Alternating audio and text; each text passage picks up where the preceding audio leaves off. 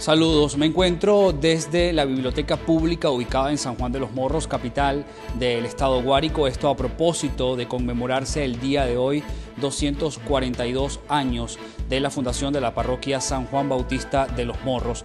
Y nosotros para ello vamos a conversar con el profesor Frank Colina, quien es miembro del Gabinete de Cultura del Estado. Y para ello vamos a hablar un poco de la historia sobre estos 242 años, cómo iniciaron, profesor. Bueno, mira, la, historia comienza cuando el 26 de mayo de mil año, del año 1780 el obispo Martí firma el decreto de lo que es la creación de la parroquia eclesiástica, ¿no? Y de ahí comienza la historia, pero esta es la, la fecha que se conoce eh, como el inicio o la génesis de esta pujante población. Y bueno, eh, recordemos que Martí fue uno de los creadores de la mayoría de las poblaciones de diferentes partes del estado Huerco, incluso de otros estados del país. Y es cuando comienza este proceso evolutivo de desarrollo hasta que vamos avanzando a lo que conocemos actualmente, ¿no? por supuesto, con el transcurrir de los años, con lo que conocemos como la capital del estado Guárico, San Juan de los Morros, donde decían muchos que San Juan de los Morros en un principio era, un paso nada más, paso por la parte económica, especialmente la parte ganadera, donde muchos pobladores que venían, por ejemplo, de Cabruta, de las Mercedes del Llano, de la misma Zaraza, del mismo Chaguarama, pasaban por San Juan de los Morros como sitio de pernota para llevar la carne a los grandes mercados del centro del país como Aragua. Y generalmente por mucho tiempo estuvo considerado como un sitio de pernota, pero por supuesto un valle que tenía muchas características, especialmente las hídricas, que fue lo que ayudó mucho a la formación y al desarrollo de lo que conocemos como esta pujante población actualmente. En lo cultural, ¿cómo podemos definir a San Juan de los Morros? Mira, San Juan de los Morros es una de las poblaciones del estado Guárico que tiene mayor desarrollo y mayor cantidad de manifestaciones para desarrollar. Muchas, muchas, muchas, pero con una condición. Mira, San Juan de los Morros, por ejemplo, tiene muy arraigado el joropo venezolano, el joropo llanero, pero es que es una música que prácticamente era desconocida porque la música original que se tocaba, se bailaba y se cantaba acá era la música central por la cercanía que teníamos con el estado Aragua. Y muchos de estos artistas se acercaban hasta acá. Y en cuanto a la cultura mira tenemos un, un potencial impresionante para dar a conocer para exportar para explotar pero que actualmente bueno por la misma situación país se han visto un poco mermada. Pero sí tenemos uno de los municipios con la mayor cantidad de manifestaciones culturales y turísticas y patrimoniales que tiene el Estado. Nosotros debemos sentirnos orgullosos, especialmente en la parte patrimonial. Por ejemplo, los morros de San Juan. Tenemos uno de los patrimonios más importantes naturales como el castelo y por supuesto la máxima figura arquitectónica religiosa que es el San Juan Bautista, que es el orgullo de todos los guariqueños. Muy bien, muchísimas gracias. Eran parte de las palabras del profesor Fran Colina. Él es miembro del Gabinete de Cultura en el Estado Guárico. Todo esto a propósito de conmemorarse el día de hoy, 242 años de la fundación de la parroquia San Juan Bautista de los Morros. Con esto nosotros los invitamos ahora a que continúen a un recorrido de lo que ocurre en las distintas regiones de Venezuela. El techo del edificio principal de la Facultad de Farmacia y Bioanálisis de la Universidad de los Andes se encuentra en total deterioro y filtraciones debido a las fuertes lluvias que caen en la entidad merideña. Según reseñan profesores de este núcleo, la capa de impermeabilización tiene años vencida y necesita ser cambiada lo antes posible, además de argumentar que estos daños se deben a la falta de presupuesto que vive hoy en día la ULA.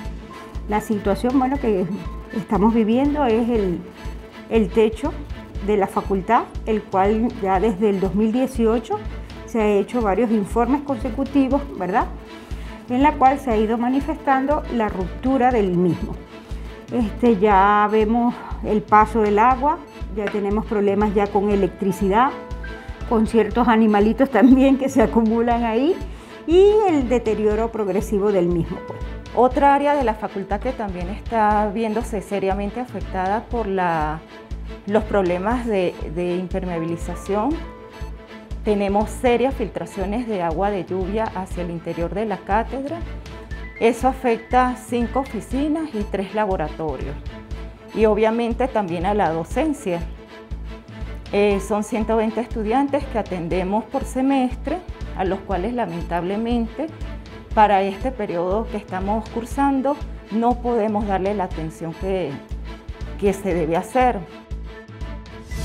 Trabajadores de la Universidad de Oriente Núcleo Sucre denunciaron que sus derechos laborales están siendo vulnerados por el Estado. Aseguraron que desde el 2008 el presupuesto ha sido reconducido y a su vez se ha ido deteriorando el poder adquisitivo del sector universitario. Ya estamos cansados de tanto abuso, de tanto atropello por la vulneración de nuestros derechos adquiridos. Nosotros hemos venido una merma desde, prácticamente el año 2008 con presupuesto reconducido, con deterioro del poder adquisitivo de los trabajadores y de la, y de la calidad de, vida. En este sentido, nos han eliminado los HCM, servicios funerarios, en Carabobo fue constituido el Frente Autónomo Independiente de Trabajadores para visibilizar la necesidad de unidad en los sectores laborales y luchar por el respeto a las conquistas adquiridas en función de aglutinar todos los sectores fundamentales, en función de la crisis que hoy tienen los trabajadores, ¿verdad? En este caso el Estado Carabobo, y necesitamos aglutinar, independientemente de las diferencias que se puedan tener, en función de que todos los sectores sumen y remen para la construcción de un nuevo salario, ¿verdad?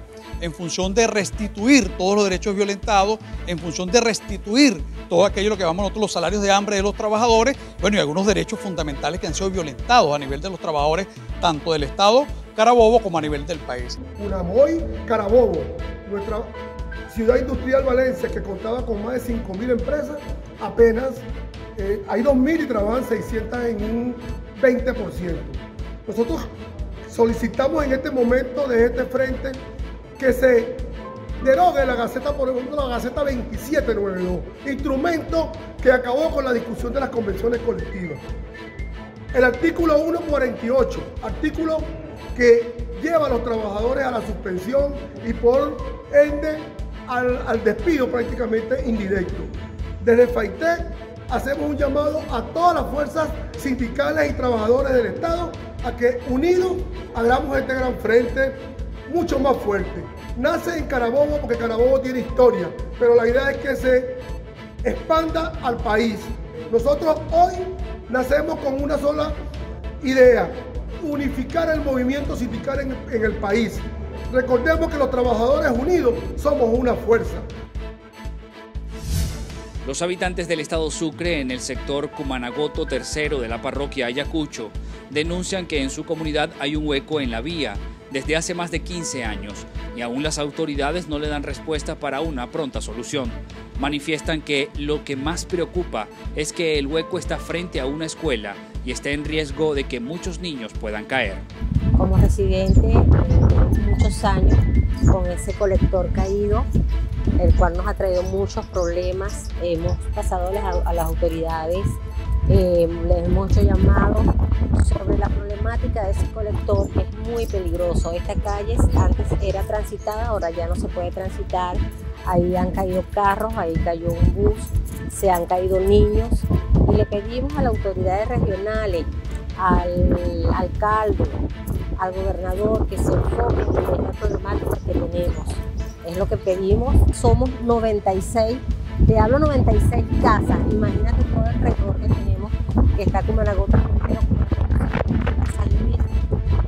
es una problemática bastante grave. Más por la escuela y los niños que transitan hacia la escuela.